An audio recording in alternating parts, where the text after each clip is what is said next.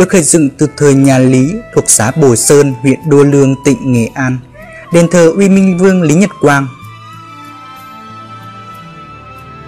Từ năm 1951 đến năm 1953, đền bị máy bay Pháp bắn phá hư hỏng nặng. Đến nay đã khôi phục được một phần, gồm có Hà Điện, Trung Điện, Thượng Điện, Bia, hai nhà tạ vu, hiếu vu, thờ Đung Trinh Vương, Dực Thánh Vương và mộ Lý Nhật Quang. Hiện vẫn nhiều giả thiết về cái chết của Lý Nhật Quang. Thần phạ đền Quả Sơn viết rằng Lý Nhật Quang hy sinh trong trận chiến với giặc, bị chém ngang cổ nhưng đầu không lìa, đến núi Quả thì ngựa quỵ xuống. Ông qua đời ngày 17 tháng 8 năm 1057. Lễ hội đền Quả Sơn được coi là lễ hội trang trọng dồi dào ý nghĩa vào loại bậc nhất của tỉnh Nghệ An. Ngày 20, cựu thánh Lý Nhật Quang được rước lên chùa Bà Bụt để làm lễ tạ ơn bởi theo truyền thuyết sau trận đánh với giặc ông Kiệt Lý Cát trở về Lý Nhật Quang bị thương. Bà Bụt đã hiện lên chỉ cho Lý Nhật Quang vùng đất để ngài an nghỉ ngàn năm. Vùng đất đó chính là khuôn viên đền Quả Sơn ngày nay.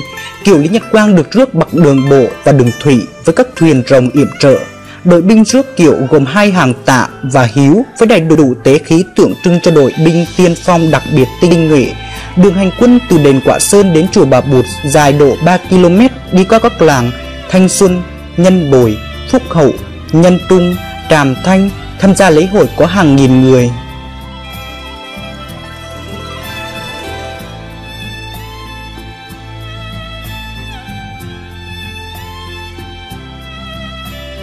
Chùa Bụt còn gọi tên khác là Tiên Tích Tự thuộc xã Lam Sơn, huyện Đô Lương, tỉnh Nghệ An.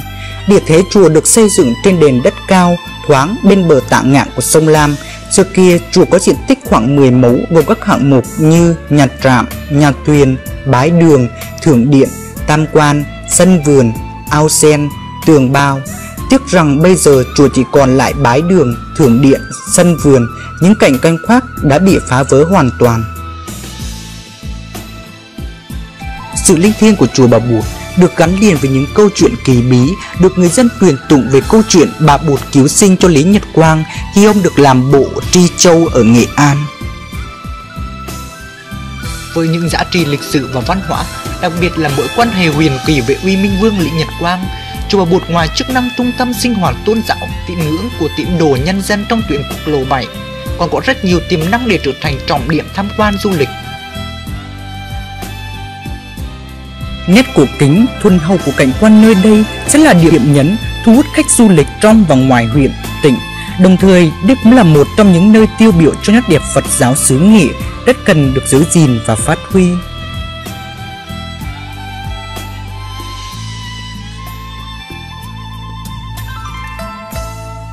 Đền Đức Hoàng là một ngôi đền linh thiêng vẫn được bảo tồn tôn tạo và trở thành nơi sinh hoạt văn hóa cho người dân thuộc xã Yên Sơn, huyện Đô Lương, tỉnh Nghệ An. Trải qua bao biến cố thăng trầm của lịch sử, đền vẫn giữ được nét cổ kính. Hiện nay, đền có hai khu, đền thượng và đền hạ. Đền thượng có ba gian, đền hạ năm gian. Các hoa văn của hình rồng trên cột, kèo được chạm khắc một cách tinh xảo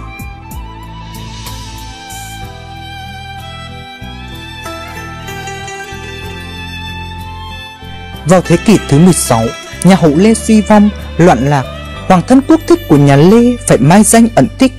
Theo truyền thuyết, vợ vua Quang Thiệu là bà Bùi Thị Ngọc Thủy đã chạy vào vùng Diêm Trùng, nay là các xã Yên Sơn, Văn Sơn, sinh hạ được một cậu con trai khôi ngô tuấn tú, đặt tên là Lê Ninh.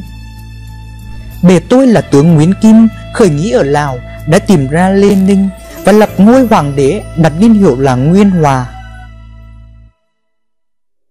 Mùa xuân năm Quý Tỵ 1533, vua Lê Trang Tôn đã đứng lên khôi phục vương triều nhà Lê, khai khẩn đất đai, dẹp loạn ngoại xâm, chấn hưng đất nước.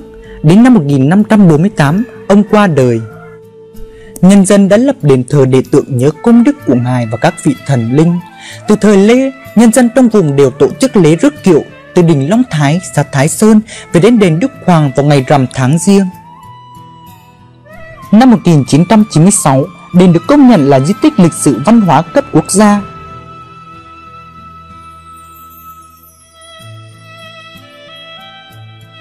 Đến với xã Mỹ Sơn, huyện Đô Lương, tỉnh Nghệ An, ta không thể bỏ qua khu di tích lịch sử Trung Bồn với hình ảnh 13 thanh niên sung phong, tạo một dấu ấn sâu sắc trong lòng nhiều người. Khu di tích lịch sử Trung Bồn là nơi 13 thanh niên sung phong đại đội 317 thuộc Tổng đội Thanh niên sung phong Nghệ An đã hy sinh vào lúc 5 giờ 30 phút ngày 31 tháng 10 năm 1968. Hiện nay, khu di tích lịch sử Trung Bồn có 22 hạng mục công trình trên diện tích rộng gần 20 hecta đã hoàn thành. Địa đã được thành huyền thoại, nơi ghi dấu ấn của những chiến công oanh liệt của quân và dân ta trong cuộc kháng chiến chống Mỹ cứu nước. Sự hy sinh của các nữ thanh niên sung phong đã làm nên một chuông bồn bất tử, một huyền thoại về ý chí bất khuất, kiên cường về con người anh hùng cách mạng.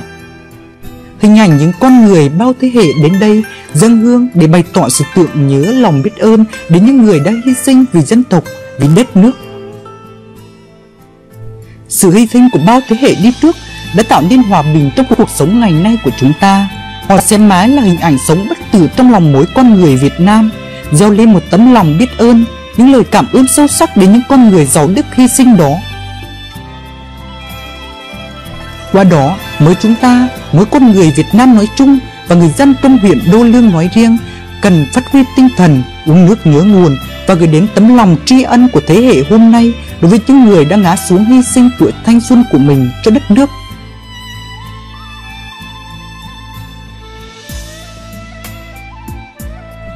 Điểm dừng chân cuối cùng của chúng tôi đó chính là tượng đài cách mạng Đô Lương vẫn sừng sững khí phách hiên ngang như bản hùng ca về tinh thần anh hùng dân tộc của đất và người xứ Lường cách đây 74 năm ngược dòng lịch sử.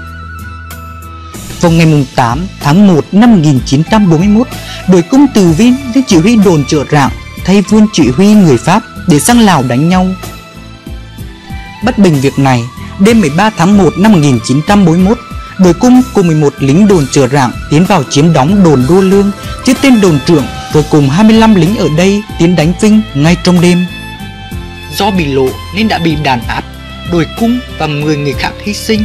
Mặc dù thất bại nhưng cuộc khởi nghĩa đã lại lên tư tưởng cho cuộc khởi nghĩa sau này đến chiến thắng.